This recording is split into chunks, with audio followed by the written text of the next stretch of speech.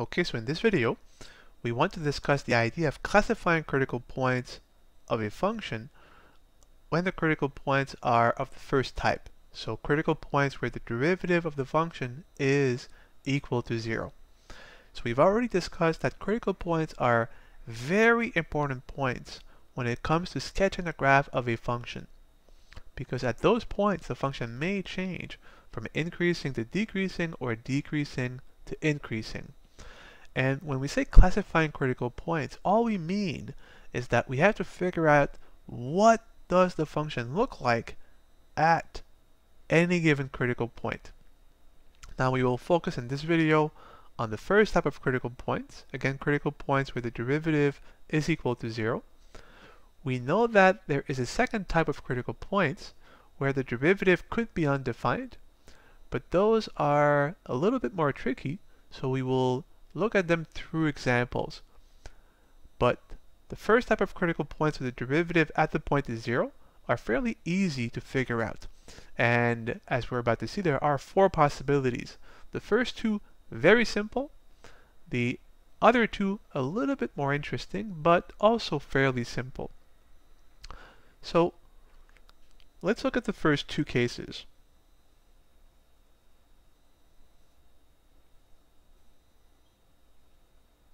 We'll do them side by side because they are extremely similar. So we have a point in each case x0 at which the derivative of the function is equal to 0. Well, if the derivative at a point is equal to 0, that means that the slope of the function at this point is equal to 0, but the slope of a function is the slope of its tangent line. And if the slope is 0, this means we have a horizontal tangent line. So, so far, so good. Now, how do we know what the function looks like around the point x0? Well, we already have half of it. We know that at this point, since the derivative is 0, the curve is flat, therefore has a horizontal tangent line. But how do we figure out the shape of the function around this point? And the answer is to simply use the second derivative. So what if we evaluate the second derivative of our function at the point x0?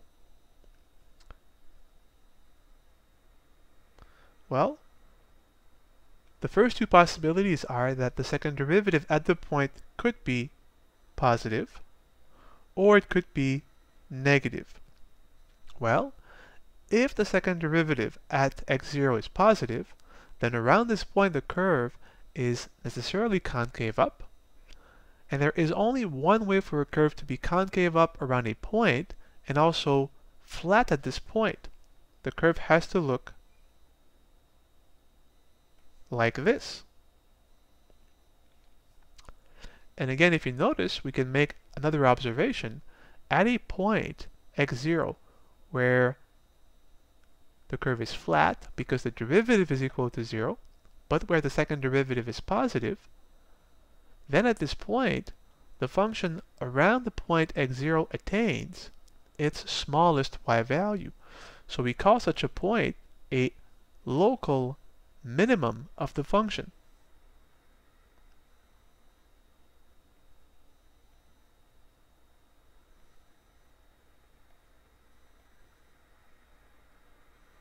And local means just around the point x0 because of course later on the function could then be decreasing and attain an even smaller y value. But as long as we stay around the point x0, at this point the function does attain its smallest y value. Well, we will have a very similar picture when the slope of the function is 0, but the second derivative at the critical point is negative because we know that if we have a negative second derivative, then the curve at this point and around this point is concave down. And there is only one way to draw a function at a point that is both concave down around the point and flat. It has to look like this. And you can see now that around the point x0, if we stay close to x0, the function attains its largest y value at x0. So this will now be called a local maximum.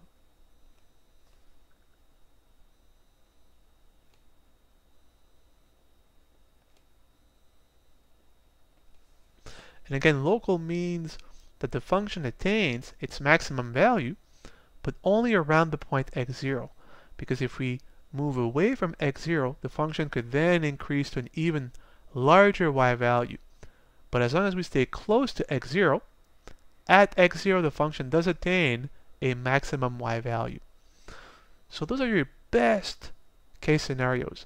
A critical point where the derivative is 0, so a point where the curve is flat, and if the second derivative at x0 is positive, then the curve is concave up at this point and flat.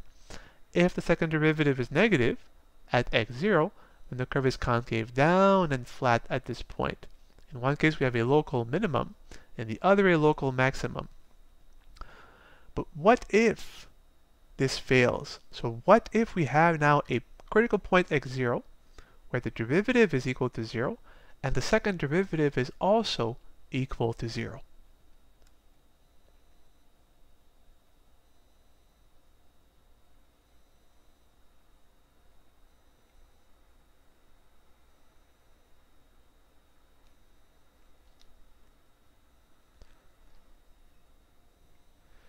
Now we have the first the same first step as we had previously for the other two cases. These are again values of x at which the derivative is equal to 0. So at those two points, in each case the curve is flat, so it has a horizontal tangent line. And now we assume that our classification at x0 fails, which means that at x0 we have a second derivative that is equal to 0. And when the second derivative at a point is equal to 0, it tells us nothing about the concavity of the function. If the second derivative is positive, the curve is concave up. If the second derivative is negative, the curve is concave down. But if the second derivative is 0, we don't know if the curve is concave up or concave down. So when the classification fails at the exact critical point, then all we have to do is look at the second derivative at a point a little to the right, say x0 plus, and a point a little to the left, say x0 minus. And any value will do as long as it's close enough to x0. And let's see uh, what are the two possibilities.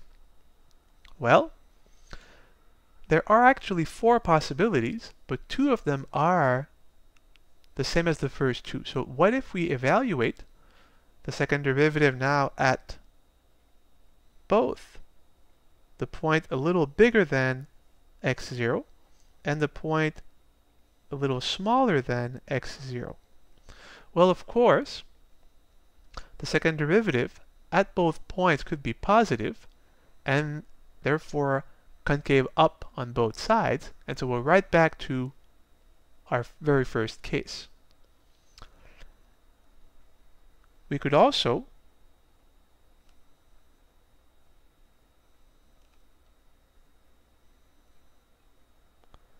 have the second case. What if the second derivative at a point a little smaller than x0 and a little bigger than x0 are both negative? Then the curve is concave down on the left and on the right of x0. And so we're right back down to our second case. So the only two new cases will be when the sign of the second derivative changes from the left of x0 to the right of x0. So the first possibility is that we have a positive second derivative on the left of x0 and a negative second derivative on the right of x0. This means that on the left of x0, the curve is concave up, and on the right of x0, the curve is concave down. And we also know that at x0, since the derivative is equal to 0, the curve is flat. So there's only one option. On the left of our critical point, we have a concave up curve. On the right, concave down. And at this point, the curve is flat. So the only option is to look like this. Concave up. Then at the point, it becomes flat. Then it changes to concave down. So you can see that in this case, this is now not only a critical point, but also an inflection point. Not only is the curve flat at this point, but concavity does change from concave up to concave down. And of course we could have the exact mirror image.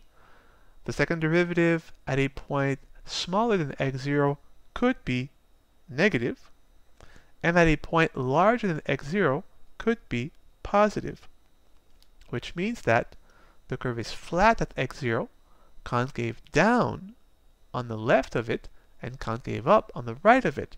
So the only option is for the curve to look like this. Concave down on the left of x0, flat at x0, and then on the right of x0 the curve becomes concave up. And once again, x0 is not only an inflection, a critical point, but also an inflection point as the curve goes from concave down and then going through x0 becomes concave up. And so this is how you figure out how the graph of a function looks like around a critical point at which the first derivative is equal to 0. The two simpler cases is when the second derivative at the critical point is positive or negative, in which case you get either a local minimum or a local maximum. A little bit more work is required if at the critical point the second derivative is equal to 0, in which case all you have to do is again use the second derivative at a point a little to the left of x0 and then a little to the right. And this will tell you on each side whether the curve is concave up or concave down.